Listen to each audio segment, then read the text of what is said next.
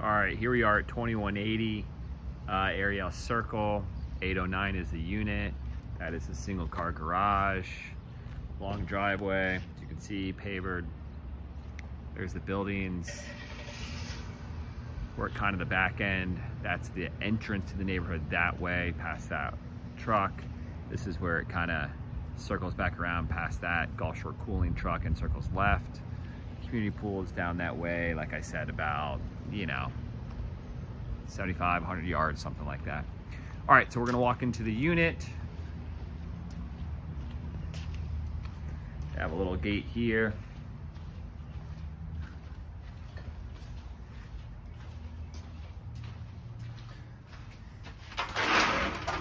Tile floors on the entry.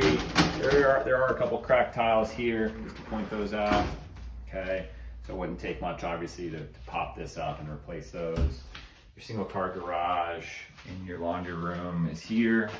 You got cabinets above, a couple little racks.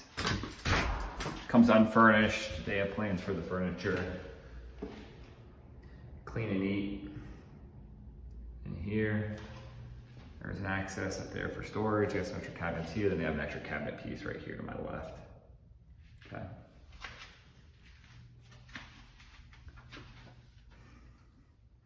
Tray ceiling in the entry. These are the wood floors I was talking about. Guest bedroom to my left. This is where the HVAC is. Like I said, new in 2018. It was installed.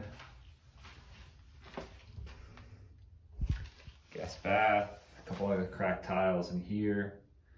So like I said, it, it probably could use at least those tiles being replaced here and in the entry. Guest bedroom, plantation shutters, which is a nice touch. Very Southwest Florida. All the lights, all the fans have been replaced at some point recently in the past couple years. Um, so it really helps out with kind of the feel and the decor of the place. You know, they, they put in really nice fans, real high end stuff. So um, here's your den, double door entry. You can see uh, some people can turn those into like, you know, glass double doors for the added, you know, openness to it if you want, but it holds quite a bit of furniture as you can see. Um, come in here, it's your main living area.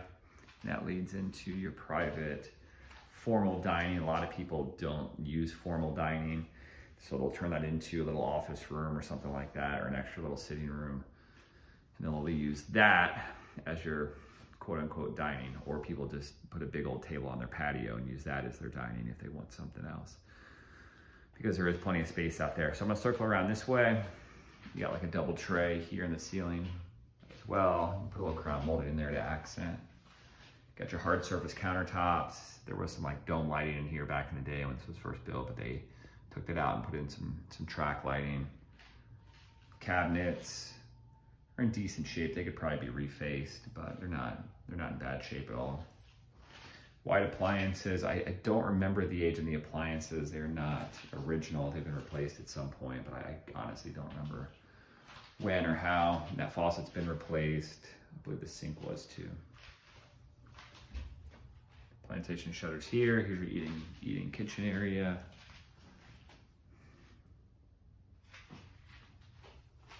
This is where the patio steps down. As you can see, they have these custom Hunter Douglas, oh, I'll get the name there, Hunter Douglas blinds. So these things roll down. And they have them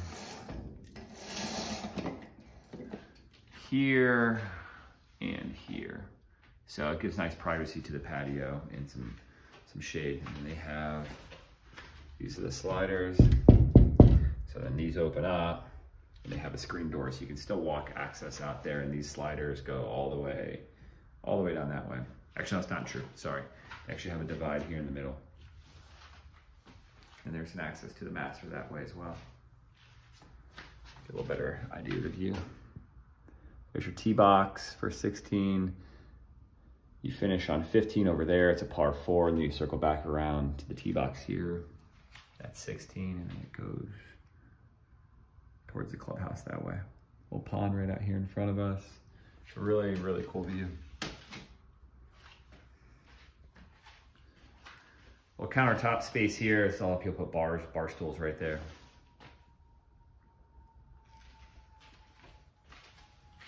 Circle around to the master. Wood floors in here as well. There's dual his and her closets. This one's the his, it's just got wire racks. This one is the hers, and it actually has some custom, custom closets. About the same size, really. Here's the master bath, which I was, I was saying needs a little TLC, you know, just cheaper cabinets, of cultured marble tops, what I call your clown lights, and then a mirror that's not framed, old jacuzzi, which most people, when they redo it, just rip it out and add, you know, a bigger shower. There's the framed, framed shower. So this whole area could use a little revamping, and that's what I was kind of talking about on the phone. Just leaves a little to be desired. I think of all the things that need to be done in this in this place, that would be the first to go. There's the sliders out to the patio for the master as well.